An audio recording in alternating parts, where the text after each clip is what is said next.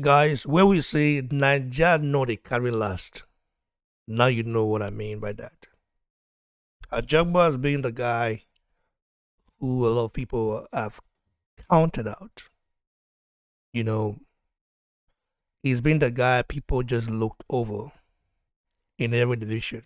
They won't even acknowledge at all. But you saw you did.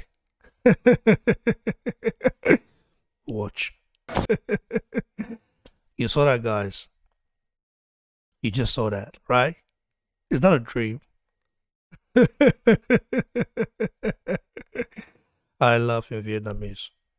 So I want to say big shout out to my brother Ajagba, Nigeria. With a win. We would exactly the win. I love in Vietnamese. So guys, I want to say shout out to all of you guys that support the channel. These boxing balls that are here. Ajagba stopped Brian Howard in the third round. I just hope Brian Howard is fine. I hope he's well. Because I thought he was already gone.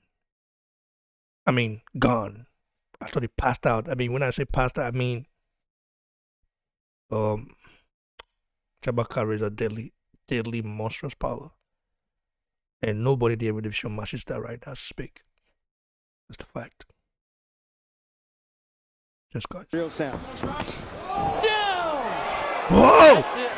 That's it. Done. My goodness. You can hear Tony Krebs. It sounded like a shotgun Yeah. blast in front of us. Exactly. It's like a it's like a, a baseball player hitting the sweet run. spot Yep. on the bat.